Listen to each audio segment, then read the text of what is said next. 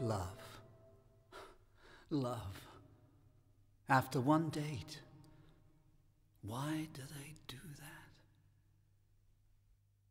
It's always love.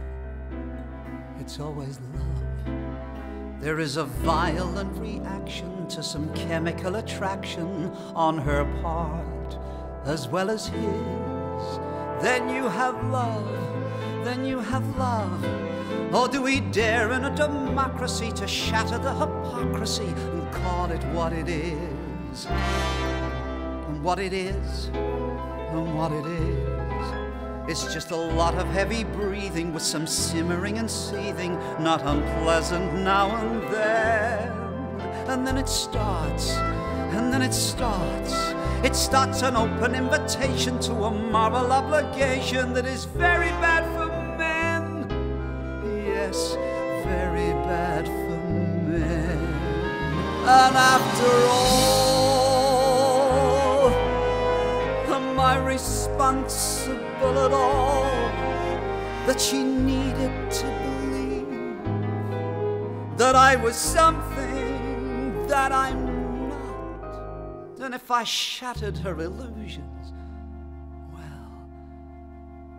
she was jumping to conclusions.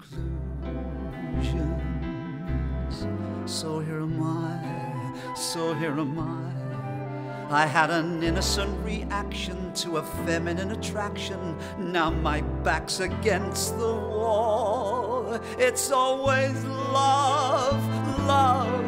Well, I'm not convinced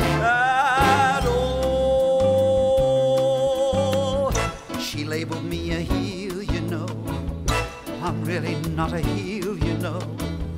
It wasn't a bad deal, you know. Look how good I made her feel, you know. When all is said and done, you know. You didn't see her run, you know. She had a bit of fun, you know. She's over 21, you know. Now she'll be hurt.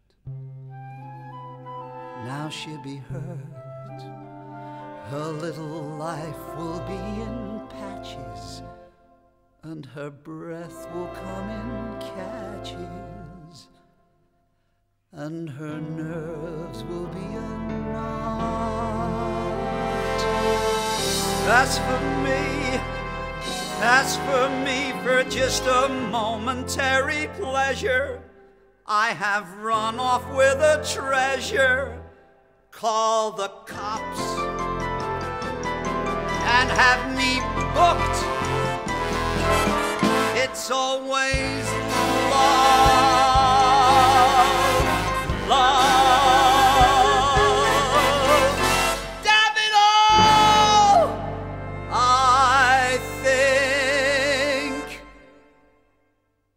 I think I'm hooked.